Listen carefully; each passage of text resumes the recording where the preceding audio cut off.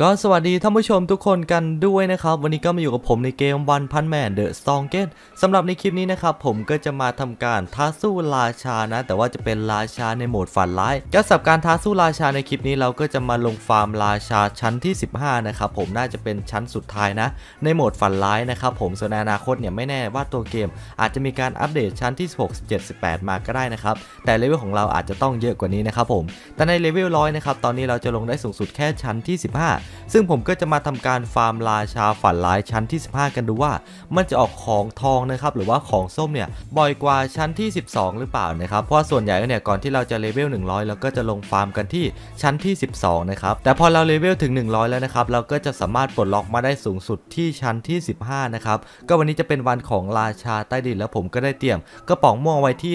650 กระป๋องนะครับแต่ผมจะขอซื้อเพิ่มให้มันเป็น 700 กระป๋องเลยกัน ก็มาเป็น 717 กระป๋องเป็นที่เรียบร้อยแล้วนะครับ ก็เดี๋ยวเราจะมาฟาร์มราชาชั้นนี้ดูนะครับผมว่าถ้าผมปล่อยออโต้ไปทั้งหมด 700 กว่าพลังงานนี่นะครับของทองในชั้นที่ 15 เนี่ย มันจะดรอปบ่อยหรือเปล่านะ แต่ก่อนที่เราจะไปลงฟาร์มกันนะครับ เดี๋ยวผมจะขอกดหาแบบทีมหน่อยแล้วกันนะครับ ผมว่าถ้าผมสร้างทีมเอาไว้นะครับ จะมีใครมาจอยกับผมหรือเปล่านะในชั้นที่ 15 นะครับ ก็จะรอสักประมาณ 10 นาทีแล้วกันนะครับ ตอนนี้เราก็ได้คนที่จะมาท้าสู้กับเราในชั้นที่ 15 แล้วนะครับ ผมก็เดี๋ยวเราไปท้าสู้กันเลยแล้วกันนะเขาก็มีคอด้วยนะครับ ก็ผมจะจัดทีมตามนี้แล้วกันนะครับ น่าจะผ่านอยู่นะกับการออโต้นะครับ ก็เดี๋ยวเราไปทำการเริ่มออโต้กันเลยแล้วกันนะครับ ผมว่าจะไหวหรือเปล่านะ ผมก็จะขอดูไปเรื่อยก่อนนะครับ ผมว่าออโต้กับคนคนนี้เนี่ยจะสามารถผ่านชั้นที่ 15 ได้สบายๆหรือเปล่านะเพราะถ้าผ่านไม่ได้สบายๆเนี่ยผมก็น่าจะขอไปลงคนเดียวดีกว่านะครับเพราะถ้าเราลงกับเขาแล้วไม่ผ่านเราก็จะเสียพลังงานฟรีนะเหมือนว่าจะพอไหวนะครับสำหรับการลงออโต้กับคนนี้นะเพราะงั้นผมก็จะขอปล่อยแบบยาวๆเลยแล้วกันนะครับแต่ดูของจากรอบแรกก็เนี่ยดันมีของสีฟ้ามาด้วยนะอันว่าเดี๋ยวผมจะขอปล่อยออโต้ยาวๆนะครับจนพลังงาน 700 กระป๋องผมหมด แล้วเรามาดูกันว่าผมจะได้ของทองกี่ชิ้นนะครับ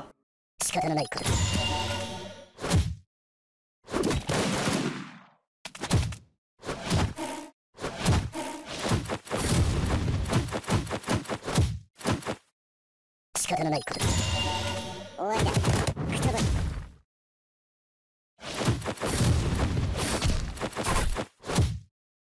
仕方のないこと。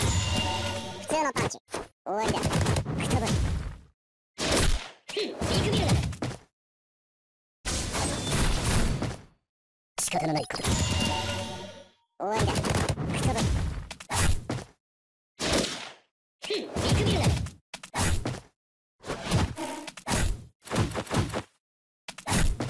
仕方のないことหลังจากผมได้ลองฟาร์มเป็นทีมผ่านไปประมาณ 3-4 เกมนะครับผมก็ผ่านบ้างไม่ผ่านบ้างนะครับคนที่ร่วมทีมของผมเนี่ยเขาก็ได้ออกจากทีมไปเป็นที่เรียบร้อยแล้วนะครับเพราะงั้นต่อจากนี้เนี่ยผมก็จะทำการลงเองแบบออโต้นะครับกับพลังงานที่เหลืออยู่ประมาณ 650 พลังงานนะผมก็จะออโต้ไปเลยนะครับ ออโต้ได้สูงสุดตอนนี้จะอยู่ที่ 50 รอบนะครับ ก็กดเริ่มต่อสู้ไปเลยนะสำหรับทีม auto ผมเนี่ยก็จะเป็นทีมชุดเดียวกับที่ผมใช้ใน PVP เลยนะครับ ทีมนี้ผมลอง test ดูแล้วนะครับ ผมสามารถผ่าน auto ท้าสู้ราชาฝันร้ายชั้นที่ 15 ได้นะครับก็เดี๋ยวจากนี้นะครับผมจะปล่อยยาวๆไปเลยแล้วกันนะครับผมให้มันครบ 50 รอบนะ แล้วเรามาดูกันว่า หลังจากผมฟาร์มครบ 50 รอบแล้วนะครับผมจะได้ของส้มของทองนะครับผมดอกมาทั้งหมดกี่ชิ้นนะครับสำหรับการท้าสู้ราชาฝันร้ายในด่านที่ 15 นะ ขอตัดมาอีกรอบหนึ่งนะครับ หลังจากที่ผมได้ปล่อยฟาร์มไปนะครับ ได้ 21 รอบเนี่ย ในรอบที่ 21 เนี่ย ผมก็ได้พ่ายแพ้นะครับ ก็ไม่รู้ว่า bot มันพ่ายแพ้ได้ไงในรอบที่ 21 นะครับ ก็เดี๋ยวเรามาดูกันก่อนแล้วกันว่า หลังจากฟาร์มไปครบ 21 รอบเราได้ของทองมากี่ชิ้นนะครับ ก็กดดำเนินการต่อเลยแล้วกันมันก็จะแสดงขึ้นมานะครับผมว่าเราได้ของทองไปกี่ชิ้นนะครับผมก็มา 1 2 3 4 นะครับ ได้มา 4 ชิ้นนะครับใน 21 รอบนะ ก็เดี๋ยวเรามาดูกันนะครับผมว่าของทั้ง 4 ชิ้นเนี่ยเราได้มาเป็น option อะไรบ้างนะครับเริ่มที่แรกนะการ์ด buff เทคนิคนะครับผมได้มาเป็นเพิ่มพลังโจมตี 5%นะครับอันนี้ก็น่าจะใส่พวกตัวละครอย่างจักรพรรดิเด็กไม่ก็เมทเท่านั้นะครับส่วน Genos ร่าง SSR เนี่ยควรจะเป็นการ์ดที่เพิ่มเปอร์เซ็นต์ HP นะอันที่2เนี่ยก็จะเป็นการ์ด buff พลังนะครับ คือการ์ด buff พลังใน ID ผมเนี่ยค่อนข้างเยอะ ไม่ว่าจะเป็นพลังโจมตีหรือว่าการ buff เพิ่ม HP นะครับ ก็เดี๋ยวเรามาดูกันว่าการ์ด buff ใบนี้มันจะบวกเปอร์เซ็นต์พลังโจมตีหรือว่าเปอร์เซ็นต์ HP นะ ก็บวกมาเป็นเปอร์เซ็นต์ป้องกันนะครับบ่นไปว่า HP กับโจมตีเยอะนะครับ ทางตัวเกมก็เลยออกป้องกันมาเฉยเลยนะ ส่วนต่อไปเป็นการ์ด buff ระดับ C เวอร์ชันสีส้มนะครับ ซึ่งก็ไม่รู้ว่าจะเอาไปใส่ตัวละครอะไรเหมือนกันนะ แล้วก็ได้มาเป็นพลังโจมตีด้วยนะครับ และสุดท้ายนะครับที่เป็นของสีส้มของผมเนี่ยก็จะเป็นการ์ด buff ต่อสู้นะสำหรับการ์ด buff ต่อสู้เนี่ยถ้าถามผมว่าผมอยากได้บวกเป็นเปอร์เซ็นต์โจมตีหรือว่าเปอร์เซ็นต์ HP ผมอยากได้เป็นเปอร์เซ็นต์ HP นะครับก็มาดูกันว่าผมจะได้เป็นเปอร์เซ็นต์ HP หรือเปล่านะ ได้มาเป็นป้องกันนะครับ ก็สีส้มนะครับออกมา 4 อันนะครับ เป็นป้องกันไปซะแล้ว 2 อันนะ ก็เดี๋ยวผมจะปล่อยฟาร์มต่อแล้วกันนะครับ ปล่อยได้อีก 33 รอบนะครับ มาดูกันว่าอีก 33 รอบที่เหลือเนี่ยผมจะได้ของส้มหรือว่าของทองอีกกี่ชิ้นนะครับ 終わりだくたばり仕方のないことだ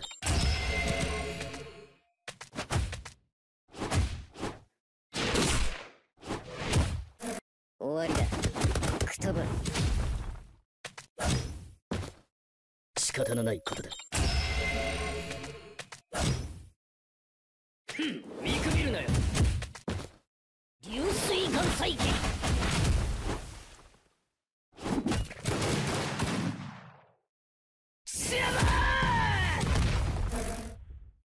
ในที่สุดตอนนี้ผมก็ได้ปล่อยออโต้ฟาร์มจนครบ 33 รอบสักทีนะครับ เรียกว่าใช้เวลาในการฟาร์มไปเนี่ย เกือบเกือบจะ 2 ชั่วโมงเลยก็ว่าได้นะครับ ก็เดี๋ยวเรามาดูกันว่าเราได้ของทองมากี่ชิ้นนะครับผมหลังจากปล่อยฟาร์มอีก 33 รอบนะ เพราะว่า 21 รอบแรกเนี่ย เราได้ของทองมาประมาณ 4 ชิ้นเลยนะครับ ก็เดี๋ยวลองเลื่อนดูนะครับผมของเขียวนะ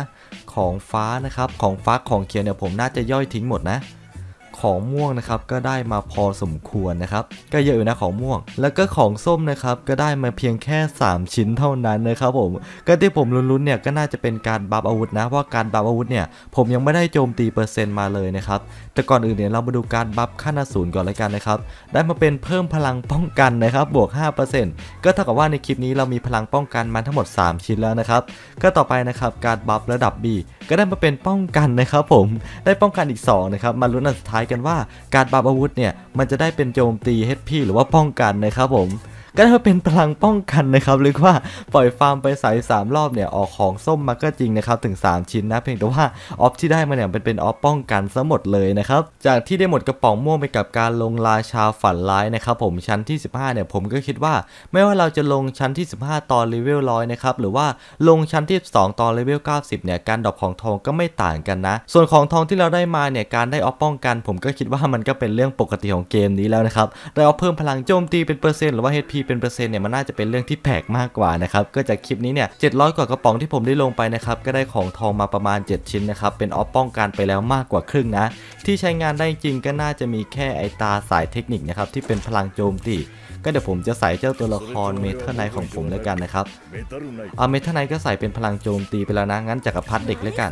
โอเคผมจักรพรรดิเด็กก็ใส่เป็นพลังโจมตีไปนะครับก็เป็นว่าคลิปการลงราชาฝันร้ายก็จะเป็นประมาณนี้แล้วกันนะครับสำหรับ 700 กระป๋องที่ผมได้เสียไปก็ได้ของทองมา อย่างที่เห็นนะครับผมมองว่าคลิปนี้ก็จบเพียงเท่านี้ ไว้เรามาเจอกันใหม่ในคลิปหน้าคลิปนี้ก็บ๊ายบายนะครับ